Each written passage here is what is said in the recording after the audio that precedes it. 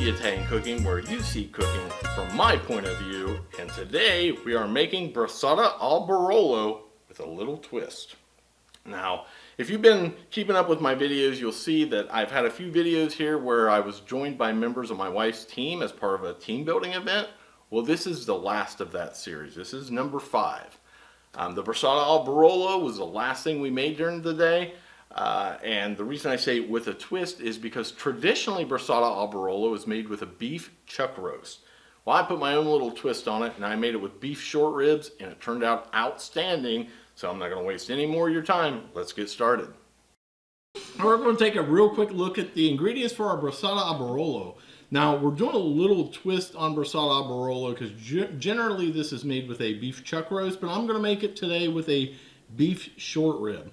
Amber's going to help me with this one. So what we've got is about three pounds of beef short ribs. We're going to use two red onions. We're going to watch you cry because you're going to cut those up for me. Okay. Um, we're going to use five or six cloves of our garlic, two stalks of celery, two carrots. We got about eight ounces of pancetta. Do you know what pancetta is? No, no. Pancetta is essentially Italian bacon. The only difference between American bacon and Italian pancetta is it's not smoked. But this is, we're going to use this because we're going to like sweat the fat out of that. That's going to help our vegetables take, taste a little better. Or, as I like to call it, this is a sofrito. So it's kind of the holy trinity of vegetables. Another thing we're going to have is two cups of a basic tomato sauce. And if you look back at one of my earlier episodes, this is the simple sauce that I make. I can't remember the episode number. Just search for simple sauce. I made this this morning. We're going to have two cups of Barolo. Barolo is kind of a higher end Italian wine. This is actually a lower end Barolo. This was about a $30 bottle.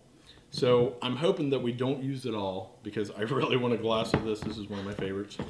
And then some salt and pepper. So we're going to move a few things around. Actually, what I'm going to have you do for me, I want you to salt and pepper the, um, the short ribs. Salt them pretty generously. Just grab a little pinch. Just about that much. Go ahead and do all of them on one side, and if you can flip them over and do the other side as well. So while she's doing that, I'm going to move a few things around. I'm going to rinse off my celery, get my carrots ready to chop up, and then when we come back, we're going to watch one of these girls cry as they chop up these red onions. All right, the first step, we've got to do our prep on our vegetables. And thankfully today, I have to do very little prep because I got a whole lot of help in the kitchen. So what we're gonna do is let's go ahead and chop, get rid of the, the white ends on those. Then we're just gonna do like a half inch chop straight across because this dish simmers real slow. Just slide those off the side anywhere. Look at her, she's trying to be all neat. Um, just go ahead and do a half inch chop on those. Or a quarter inch. That's perfect. Just like that the whole way. Okay.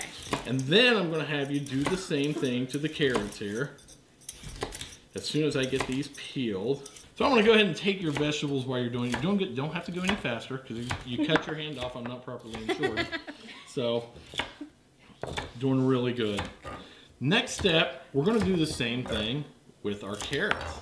All your vegetables to be about the same size. That way they cook the same. Okay we have our carrots and our celery cut up. Now, between shots, Amber told me what a secret to cutting red onions, or any onion really, without uh, crying. And what, what's your secret? And you guys chime in and let us know if we're correct about this. But supposedly, you're you're supposed to peel a half onion and slice it in half and place it on top of your head. So we're gonna see if this works. I'm just gonna stand back and let the magic happen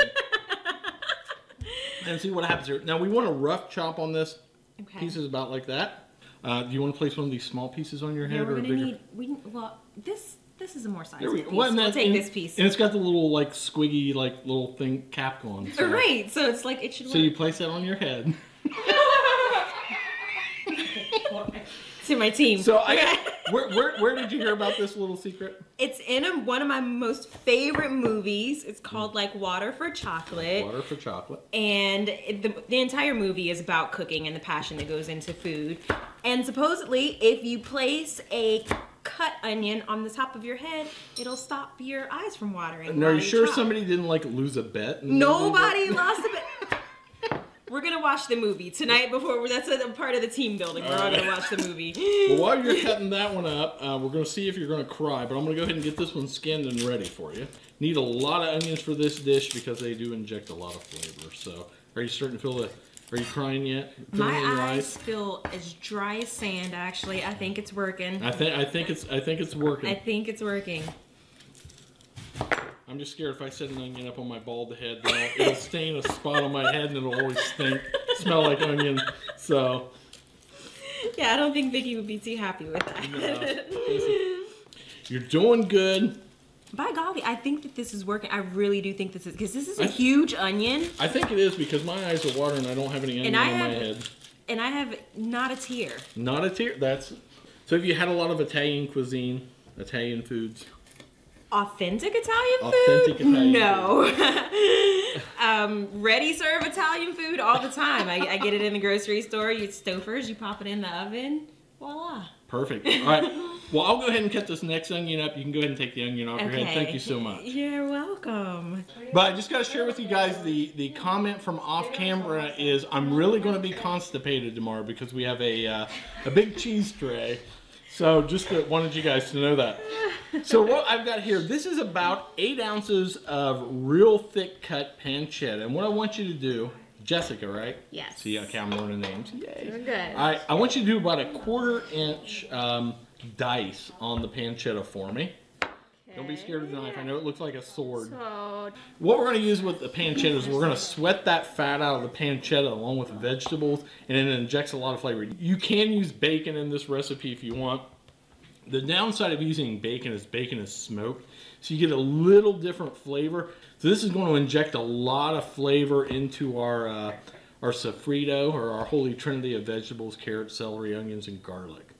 So you're doing a really good job. So we're going to go ahead and get this finished up, and our next step we'll prep our garlic.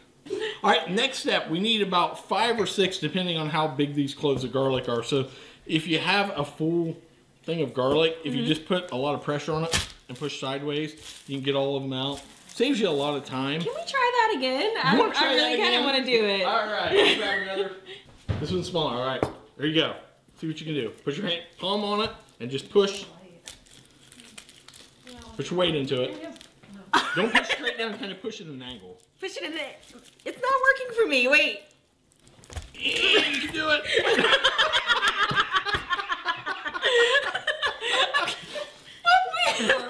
All right. Got one. It's That was a big fail. Let's set that over here.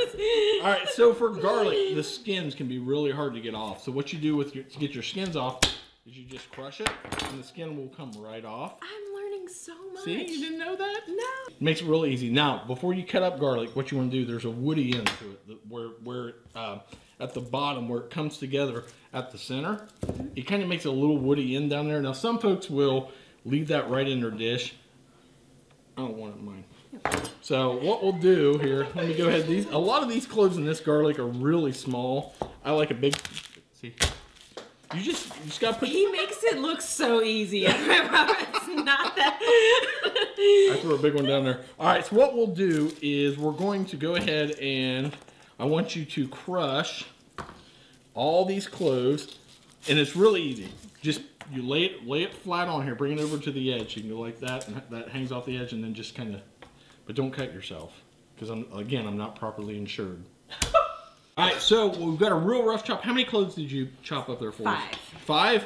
Let's go ahead and do one. These are really small cloves. So we're going to go ahead and do two more because we have about three pounds of. Um, let's go ahead and. Uh, nah, you're fine. No, you're fine. You're fine. We have about three pounds of short ribs. So if you're doing about two pounds of short ribs, four or five cloves is going to be enough. But since we've got so many short ribs, we're going to just get a couple extra cloves of garlic. As I always say, you kind of go with your gut. I don't like to measure. I just kind of go by feeling, and it didn't feel like that's enough garlic, so we're going to chop up some more. So we're repositioned over by our stove. Megan is helping me. I'm going to get these names right. So first thing we're going to do is let's go ahead and start. I'm going to go ahead and get the heat turned on here to our Dutch oven. You want to use a real heavy pan for this. Uh, go ahead and get our olive oil, and you just want to coat the bottom of the pan really good. Let's say a quarter cup to a third a cup of olive oil. You don't have to be real exact, just go ahead and just pour it on in there until you got a good coating on. That's perfect.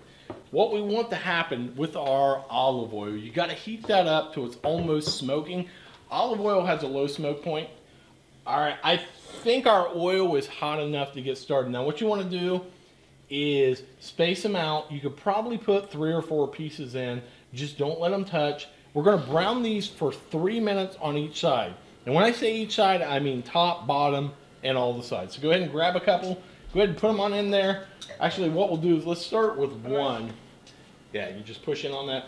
If it doesn't sizzle, perfect. That sound is real important. You want to hear that sizzle. So let's go with, uh, if you can get five pieces in there, just grab one of the small ones. Perfect. Yeah, just don't let them touch.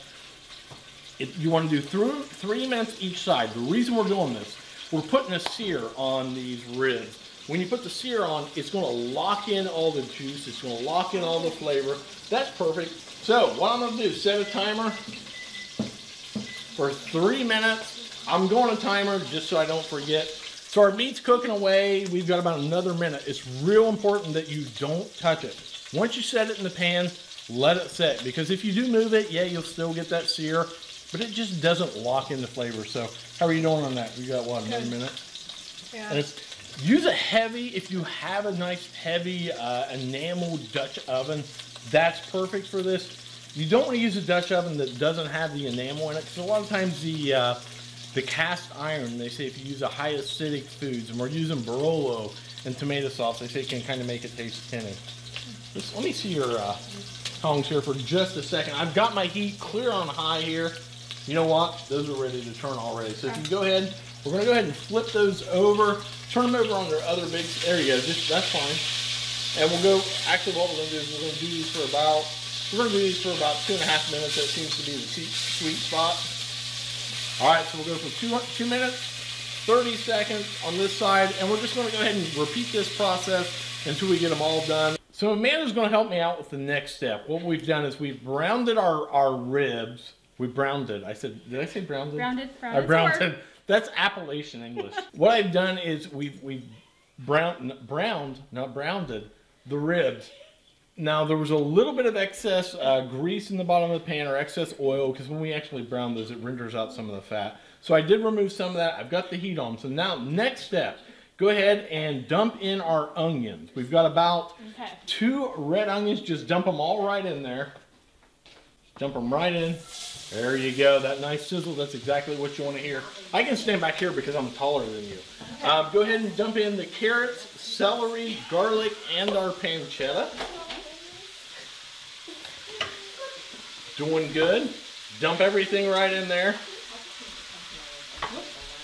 And go ahead and give that a quick stir. Now, you want these to soften up a little bit. There's a couple things that's going to happen. We're going to soften those vegetables by cooking them. Them over about medium heat. And also, it's going to render the fat out of that pancetta. Fat equals flavor. It's a real important component. This is going to cook for about eight minutes. So let's go ahead and set our timer so we don't forget. So this is going to go over medium heat for about eight minutes. Stir it every couple minutes. Uh, Amanda, you're doing a good job. Our vegetables have been cooking for about 10 minutes. They're, they're cooked down really well. Amber. Amber. Bingo, got it. You got it. wearing a name tag. Actually, they all have names on their back. You guys don't know this? There's names on their back. First thing we're going to do is dump in our wine. We have Okay. about two cups. Just go ahead and grab your wine, dump it right in there. We're going to deglaze our pan with about, that's a generous two cups of Barolo. Just dump it right in. Bingo, that's perfect. Then you're gonna see, you're gonna smell, yeah, go ahead and stir it up. You're gonna smell the alcohol kind of simmer off that Barolo. It doesn't take much. Now, we have a lot of ribs. I'm gonna go ahead and add probably another cup. That's about perfect. That's perfect. I'm gonna go ahead and turn this up. Now what we're gonna do is we're gonna add the tomato sauce. This is two cups of my simple sauce. Again, just search on my videos for simple sauce, you'll see it. Good enough, don't worry about scraping it. Go ahead and give that a stir. We want to bring this up to a boil. And what that boil is going to do is it's going to go ahead and get the uh, the tomato sauce and that Barolo incorporated. And then the next step, when we come back, we'll go ahead and put our short ribs in. Our Barolo, our tomato sauce, and our sofrito have came to a boil. As you can see, Amanda here, she can't wait. She like got her head over it. She's really she's getting that um, you know a steam. Next step is to put all of our short ribs. So if you can just take the tongs there, look at that. All right, just go ahead and sink the, all of the uh, all of the short ribs right down in there. Just work them down in. You're gonna put all of your short ribs in there. Make sure you get them underneath that sauce. Then we're gonna cover them. We're gonna turn the heat way down, and that's gonna cook for about 90 minutes. During that 90 minutes, all of that connective tissue is going to kind of, I don't want to say it's going to completely melt away, but it's going to render a lot of the fat. It's going to tenderize that meat. The acid from the wine is actually going to help tenderize things as well. And this is going to be an absolutely incredible dish. At least 90 minutes. If you can do two hours on the simmer, that's going to be a lot better. But just cover it up, super low, two hours, and then we'll be back. Our brasata al Barolo, or our short ribs and Barolo sauce, have been simmering away for, oh my gosh, about an hour and a half. So I'm gonna go ahead and, uh, Ebony's gonna help me with this step. Now, Ebony, what I want you to do is take that ladle right next to it. What we wanna do is that the finishing sauce is gonna be a, a, a reduced sauce from the, the, the uh, Barolo and the tomato sauce and the vegetables. I just want you to go ahead and get some right here in our pan. We wanna take I don't know, a couple cups of the sauce, and we're going to reduce that, and it's going to be a finisher. There you go. You don't want to try not to get any of the vegetables in there. Okay. Ah, you're fine. Okay. If you get some, we, we can always get them back out. That's fine. Okay.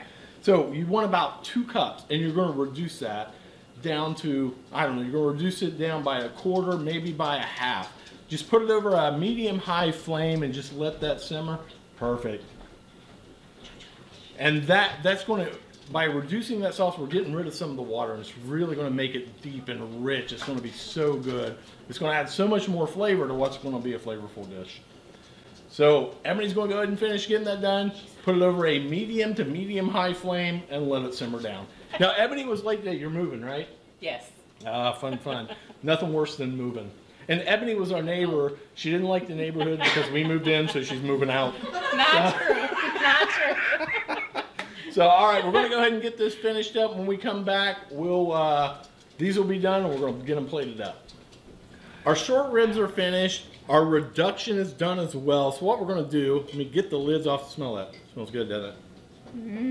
That's yes. really good. The short ribs simmered for about two hours.